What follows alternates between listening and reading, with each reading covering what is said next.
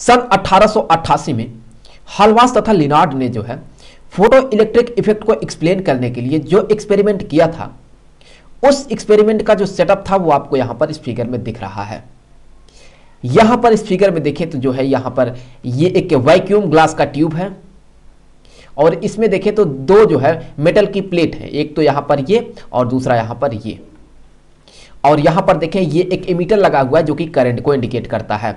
और यहाँ पर देखें, ये एक वोल्ट मीटर लगा हुआ है जो कि यहाँ पर बताता है कि इन दोनों ही प्लेट के बीच का पोटेंशियल डिफरेंस कितना है। और यहाँ पर ये एक पोटेंशियल डिवाइडर है। इस जोकी को जो है, हम आगे पीछे करके जो पोटेंशियल डिफरेंस है इन दोनों ही प्लेट के बीच में, उसे हम चेंज कर सकते हैं। और यहाँ पर ये एक रिवर्सिंग स्विच है, जिससे कि हम जो है, यहाँ पर इन दोनों ही प्लेट का जो प्लस और माइनस होगा उसे हम चेंज कर सकते हैं। और यहाँ पर जो है, ये एक बैटरी लगा हुआ है। तो अब देख लेते हैं कि उन्होंने जो है किस तरह से एक्सपेरिमेंट किया था। तो सबसे पहले हम ये देखेंगे कि यहाँ पर जो फ़ोटो इलेक्ट्रिक करंट का फ्लो होगा, उस पर लाइट के इंटेंसिटी का क्या इफ़ेक्ट पड़ता है? तो उसके लिए हम सबसे पहले क्या करेंगे? सबसे पहले यहाँ पर ये जो जॉकी है, इस जॉकी को जो है, हम हम ले जाकर के जो है, जोड़ देंगे। यहाँ पर कुछ ऐसे। सो हमने जॉकी को जोड़ दिया यहाँ पर। तो अब देखिए आप, अगर हम ये मानते हैं कि इस पॉइंट का जो पोटेंशियल है, वो भी है तो देखिए यहाँ पर ये जो कनेक्टिंग वायर है, इसका रेजिस्टेंस निग्लिजिबल होता है। तो यहाँ पर कोई भी पोटेंशियल ड्रॉप नहीं होगा तो फिर यहाँ का जो पोटेंशियल होगा, वो क्या होगा? वो भी भी ही होगा। अब, ये जो जॉकी है, वो भी यहीं से जुड़ा हुआ है। तो यहाँ पर इस वायर में जो है कोई भी पोटेंशियल ड्रॉप नहीं होगा क्योंकि इस वायर का रेजिस्टेंस नेग्लिजिबल होगा। तो यहाँ पर इस जगह का जो पोटेंशियल होगा, वो भी भी ही होगा। तो देखिए, यहाँ का पोटेंशियल और यहाँ का पोटेंशियल सेम है। तो अब इन दोनों ही प्लेट के बीच में हम कह सकते हैं कि कोई भी पोटेंशियल डिफरेंस नहीं है। तो अब यहाँ पर हम मान रहे हैं कि इन दोनों ही प्लेट के बीच का कोई पोटेंशियल डिफरेंस नहीं है। तो अब हम क्या करेंगे कि अब हम जो है यहाँ पर लाइट को इंसिडेंट करेंगे। तो यहाँ पर हमने जो है इस प्लेट पर क्या किया? हमने इस प्लेट पर जो है लाइट को इंसिडेंट किया। तो जब हम इस पर जो है लाइट को इंसिडेंट करेंगे तो होगा ये कि इस प्लेट में से जो है इलेक्ट्रॉन निकलेंगे। तो यहाँ पर जो है हमने मान लिया इस प्लेट में से जो है इलेक्ट्रॉन निकला। तो यहाँ पर जो है इस प्लेट में से इलेक्ट्रॉन निकल रहा है। हमने मान लिया कि यहाँ पर जो है तीन इलेक्ट्रॉन अभी निकला है। वैसे बहुत सारे निकले होंगे, लेकिन हम तीन ही यहाँ पर दिखाएँगे, क्योंकि हमें चीज़ों को समझना है। और इनका जो काइनेटिक एनर्जी है, वो भी अलग अलग होगा, हम मान रहे हैं। यहाँ पर इसका काइनेटिक एनर्जी सबसे ज़्यादा, उससे जो है, इससे कम है इसका, और इससे जो है, इसका कम है। तो यहाँ पर सबसे ज़्यादा काइनेटिक एनर्जी इसका है। तो अब, इसका काफ़ी ज़्यादा काइनेटिक एनर्जी है तो हम ये मान रहे हैं कि ये जो इलेक्ट्रॉन है, ये यहाँ तक, इस प्लेट तक ऐसे पहुँच जाता है। जिससे कि यहाँ पर जो है, ये जो एमीटर है, इसमें हमें दिखता है यहाँ पर डिफ्लेक्शन। इस एमीटर में हमें दिखता है डिफ्लेक्शन तो यहाँ पर हम कहते हैं करंट का फ्लो हो रहा है। तो चलिए इसे थोड़ा ग्राफ में प्लॉट कर लेते हैं। यहाँ पर हम इसे ग्राफ में प्लॉट करेंगे। तो उसके लिए हमने यहाँ पर ये मान लिया कि ये जो एक्सिस है, ये करंट को इंडिकेट कर रहा है और यहाँ पर ये जो एक्सिस है, ये लाइट के इंटेंसिटी को इंडिकेट कर रहा है। तो यहाँ पर ये जो एक्सिस है, ये इंटेंसिटी को रिप्रेजेंट कर रहा है लाइट के तो चलिए इसे कैपिटल लेटर आई से रिप्रेजेंट कर देते हैं। और ये जो करंट है, इसे चलिए अब हम स्मॉल लेटर आई से रिप्रेजेंट करेंगे और यहाँ पर हम लिख देते हैं एम्पियर क्योंकि ये करंट को रिप्रेजेंट कर रहा है, ये एक्सिस तो अभी अगर देखें तो जब यहाँ पर कोई भी लाइट इंसिडेंट नहीं करेगा तो कोई इलेक्ट्रॉन नहीं निकलेगा तो उस समय जो करंट होगा वो ज़ीरो होगा। लेकिन जैसे हमने लाइट को इंसिडेंट किया, वैसे ही हमें दिखा करंट तो जब इंटेंसिटी ज़ीरो तो करंट भी ज़ीरो उसके लिए ये पॉइंट हमने मान लिया कि यहाँ पर जो है इंटेंसिटी अभी कुछ इतना है तो फिर करंट जो है वो कुछ हमें इतना मिला। तो उसके लिए जो पॉइंट होगा, वो कुछ यहाँ पर होगा। अब हम क्या करेंगे कि अब हम यहाँ पर जो है लाइट का जो इंटेंसिटी है, उसे बढ़ा देते हैं। तो हमने यहाँ पर जो है लाइट के इंटेंसिटी को बढ़ा दिया। फ्रीक्वेंसी वही है, लेकिन हमने लाइट के इंटेंसिटी को बढ़ा दिया। तो जब हम यहाँ पर लाइट के इंटेंसिटी को बढ़ा देंगे तो अब ज़्यादा से ज़्यादा यहाँ से इलेक्ट्रॉन निकलेंगे। तो अब जो करंट होगा, वो बढ़ जाएगा। तो जैसे ही हमने लाइट के इंटेंसिटी को इतना कर दिया, वैसे ही करंट हमने मान लिया वो कुछ इतना हो गया तो वो पॉइंट हमें कहाँ मिलेगा? वो पॉइंट हमें कुछ यहाँ पर मिलेगा। और अगर हम इंटेंसिटी को बढ़ा देंगे तो करंट यहाँ पर कुछ और बढ़ जाएगा। तो अब अगर हम इन सारे ही पॉइंट को जोड़ देते हैं तो देखिए हमें क्या मिलता है। यहाँ पर हमें क्या मिलेगा? हमें यहाँ पर एक ऐसे स्ट्रेट लाइन मिलता है। इसका मतलब यह है कि ये जो लाइट का इंटेंसिटी है इसके डायरेक्टली प्रोपोर्शनल है, ये जो फ़ोटो इलेक्ट्रिक करंट है ये। तो यहाँ पर ये हो गया एक एक्सपेरिमेंट अब यहाँ से आगे बढ़ेंगे और जो दूसरा वाला है उसको हम समझेंगे। दूसरा यह है कि हम मानेंगे कि जो फ़ोटो इलेक्ट्रिक करंट फ्लो होगा, उस पर यहाँ पर ये जो पोटेंशियल डिफरेंस होगा, उसका क्या इफ़ेक्ट पड़ता है। तो अभी यहाँ से इन सारे ही चीज़ों को यहाँ से मिटा देते हैं फ़िलहाल। तो अब हम ये मान लेते हैं कि अभी जो है, अभी यहाँ पर जो है पोटेंशियल डिफरेंस तो फ़िलहाल ज़ीरो ही हम मान लेते हैं। और यहाँ पर जो है, हम क्या करते हैं कि हम यहाँ पर लाइट को इंसिडेंट करते हैं। तो हमने इस प्लेट पर जो है लाइट को इंसिडेंट किया। तो जब हम इस पर जो है, इस प्लेट पर लाइट को इंसिडेंट करेंगे तो यहाँ से जो है इलेक्ट्रॉन बाहर निकलेगा। तो यहाँ से जो है इलेक्ट्रॉन बाहर निकलता है। तो यहाँ से जो है इलेक्ट्रॉन बाहर निकलता है। और यहाँ पर हम मान रहे हैं कि इस इलेक्ट्रॉन का काइनेटिक एनर्जी सबसे ज़्यादा है और उससे कम इसका है और उससे जो है कम इसका है। तो अभी भले ही पोटेंशियल डिफरेंस ज़ीरो है, लेकिन इसका काइनेटिक एनर्जी काफ़ी ज़्यादा है, जिससे कि हम मान रहे हैं कि ये जो इलेक्ट्रॉन है, ये यहाँ पर जो है इस प्लेट तक पहुँच जाता है, जिससे कि हमें यहाँ पर फ़ोटो इलेक्ट्रिक करंट दिखता है। तो चलिए यहाँ पर ग्राफ में प्लॉट कर लेते हैं। तो यहाँ पर हमने ये मान लिया। कि ये जो एक्सिस है, ये जो है करंट को बता रहा है और यहाँ पर जो है ये जो एक्सिस होगा, ये वोल्टेज को बता रहा है और यहाँ पर ये जो है ये निगेटिव वोल्टेज को रिप्रेजेंट कर रहा है।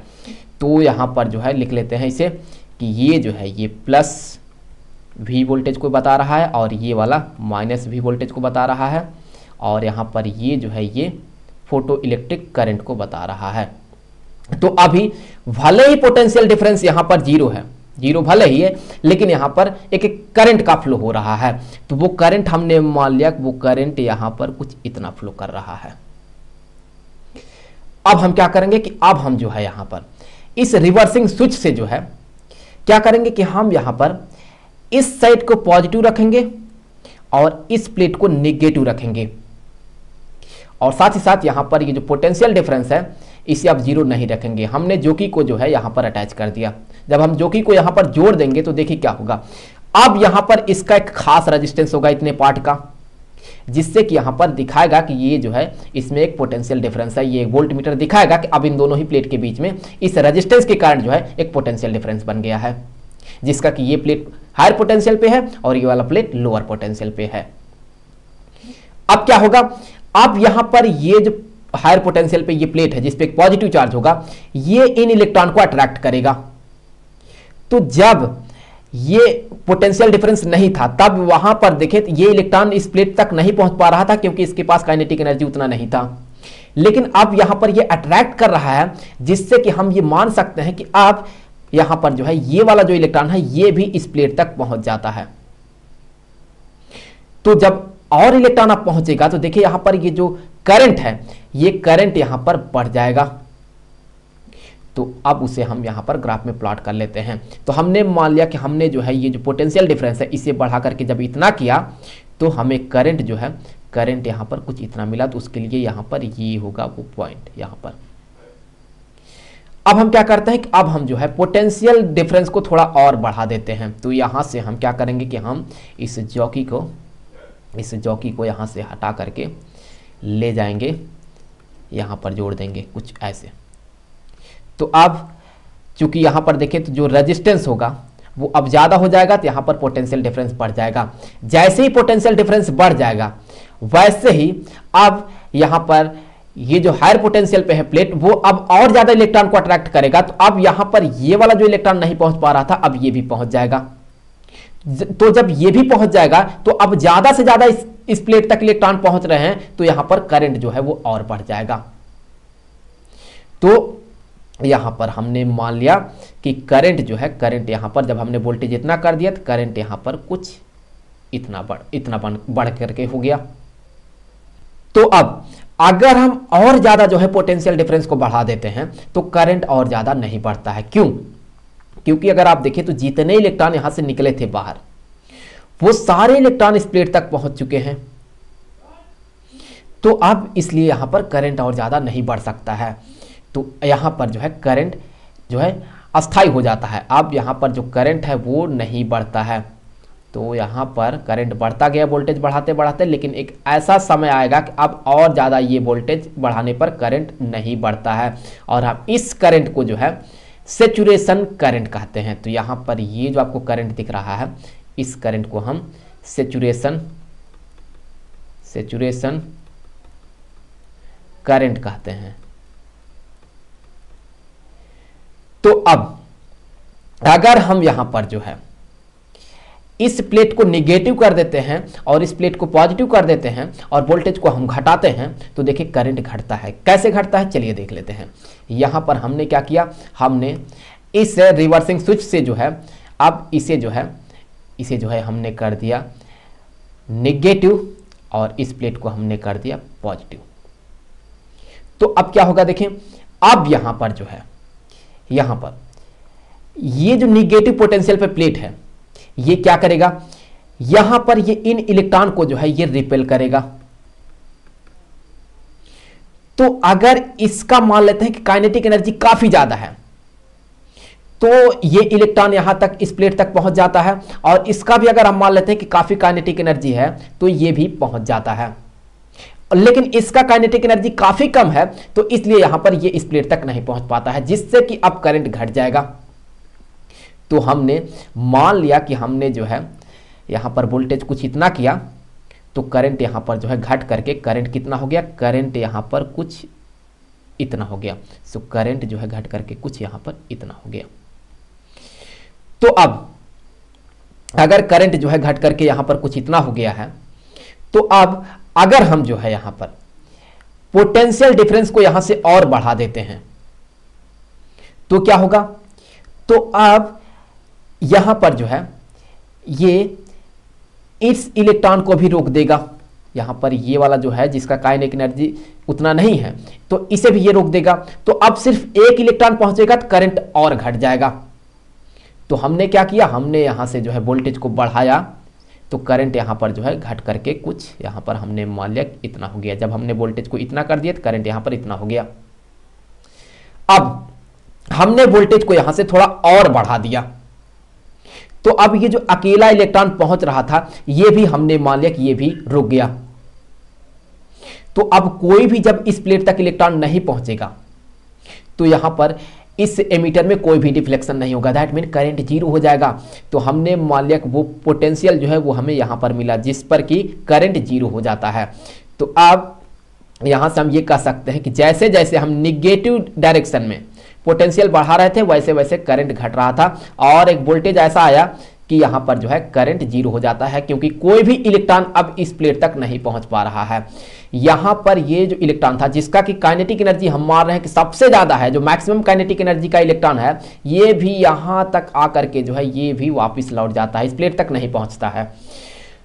यहाँ पर अगर हम थोड़ा सा भी जो है पोटेंशियल डिफरेंस को कम कर देते हैं तो यहाँ पर ये जो मैक्सिमम काइनेटिक एनर्जी का इलेक्ट्रॉन है, ये इस प्लेट तक पहुँच जाता है और यहाँ पर हमें दिखता है फ़ोटो इलेक्ट्रिक करंट फ़िलहाल तो मैं आपको बता दूँ कि यहाँ पर ये जो पोटेंशियल है, जिस पर कि फ़ोटो इलेक्ट्रिक करंट ज़ीरो हो गया है, इस पोटेंशियल को हम कहते हैं कि ये है स्टॉपिंग पोटेंशियल तो यही है स्टॉपिंग